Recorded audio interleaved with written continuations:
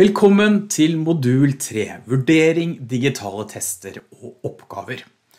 Noe av det som har størst effekt på læring er god vurderingspraksis. Derfor vil vi i denne modulen ha fokus på hva som kjennetegner god vurdering. Vi kommer til å snakke mye om summativ og formativ vurdering.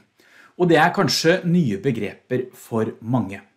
Summativ, det er som en dommer, mens formativ, det er mer som en trener. Dommeren, den er opptatt av å kontrollere resultatene dine, mens treneren, den er opptatt av å hjelpe deg videre til å bli bedre. Vi kommer til å ha mye fokus på formativ vurdering i denne modulen. Vurdering, det handler mye om hva som skal vurderes. Når skal det vurderes? Når skal tilbakemeldingen skje? Og hvordan skal tilbakemeldingen være? Vi må derfor kunne lage gode læringsmål og utvikle gode vurderingskriterier. Tester og oppgaver er måter å jobbe med vurdering på. Vi må kunne lage gode tester som tar for seg den viktigste kunnskapen, lage gode spørsmål, kunne gi automatiske tilbakemelding av formativ karakter. Gode tester har stor betydning for den enkeltes læring, men det forutsettes at det brukes på en riktig måte.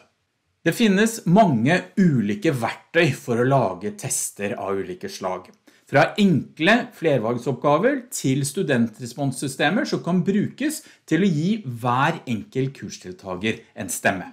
I denne modulen vil vi vise eksempler på ulike verktøy og spørsmålstyper, og vi gir deg tips på hvordan du kan bruke disse i dine nettkurs.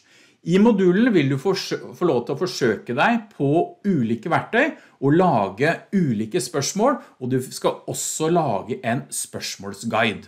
Vi skal også se på hvordan du kan bruke vurderingsresultatene til å evaluere din egen undervisning, og ikke ikke bare vurdere kursdeltakerne.